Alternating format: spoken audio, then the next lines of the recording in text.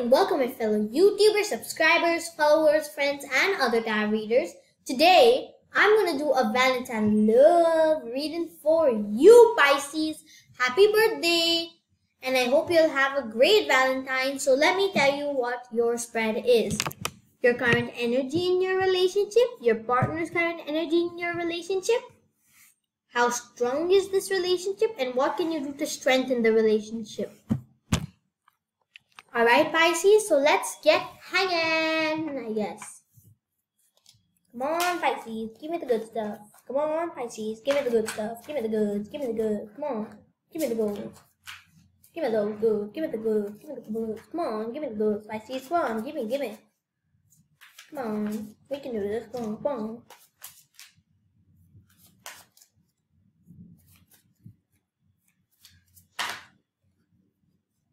Come on,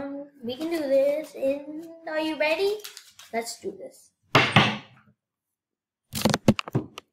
Your current energy in this relationship, your partner's current energy in this relationship, how solid is this relationship, and how can you strengthen this relationship?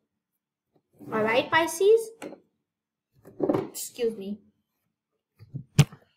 So what's your current energy in this relationship is magician. You're using all your resources, all your funds, all your stuff in this relationship.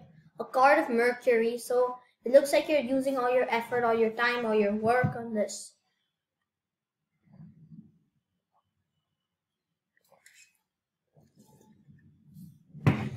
You're using all your time, effort, your power to just work on this relationship. I don't know how, but you are.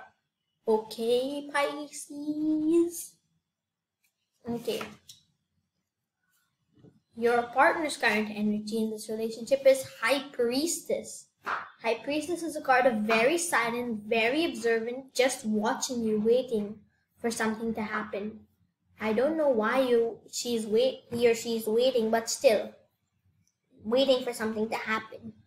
Waiting for something to happen. He or she already has the key. Now he or she's just waiting. Waiting for it. Waiting for it to be unlocked. By whom? By you. So let's see your how strong is your relationship with this? Very strong. It's lovers. Lovers is a card of Gemini and a card of like a very kissy poo, lovey-dovey energy. All right, my Pisces. All right. So it looks like something's really happening. Like there is actually some sort of spark going on between you. I wonder what it is. So let's see your how can you make this relationship stronger? By giving the other person some time, some time to think, some time to understand, some time to think how he or she wants the relationship to go on. Not always assuming, always thinking. So by freeing the person from suspension, by making sure the person has something to do instead of always being hanged around. Alright, Pisces? Alright, so I hope you enjoy your Valentine and take my advice. V for Viaan, baba baba, peace, peace, peace.